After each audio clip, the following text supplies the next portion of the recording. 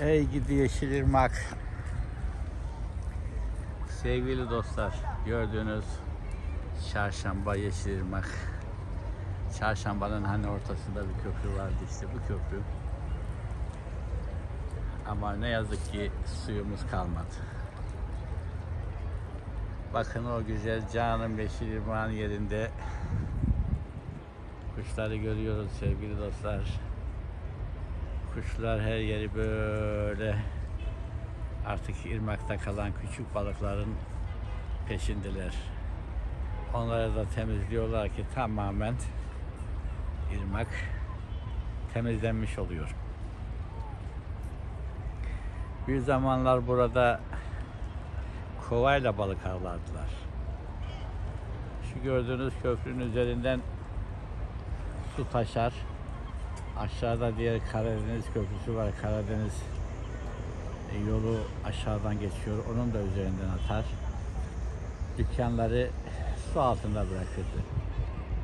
Hani kara borsa zamanları şekerin kara borsa olduğu, yağın kara borsa olduğu zamanlarda su bolluğu yaşanırdı.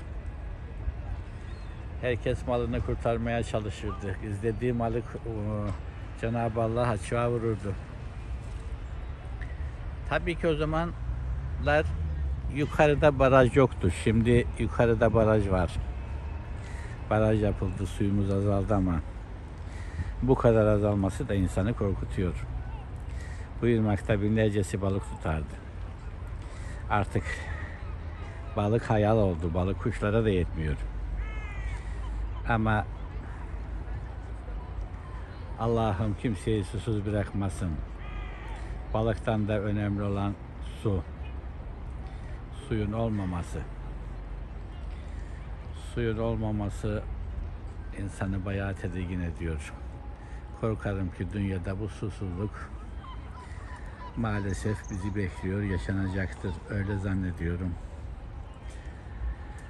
Herkese saygılar ve sevgiler sunuyorum. Bakın yukarıda gördüğünüz bir köprü daha var.